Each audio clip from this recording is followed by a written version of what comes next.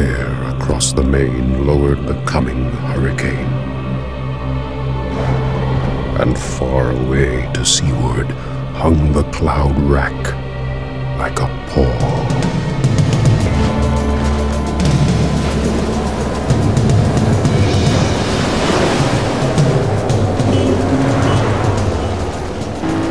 For hurricanes, these are the darkest times. In the last 30 years, the number of the most intense has doubled. And there's more to come. Good morning, folks. As you've heard, NOAA, with its National Weather Service, is predicting a very active hurricane season. Hurricanes naturally process more energy per second than 10 times the bombs dropped on Nagasaki. What chance could we humans have of doing anything useful?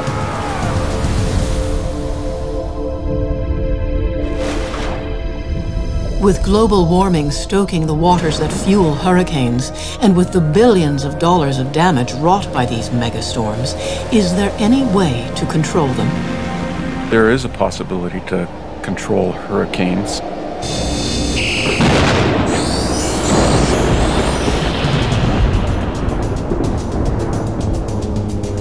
While the scientific establishment doesn't think so, there are a few mavericks who think it can be done.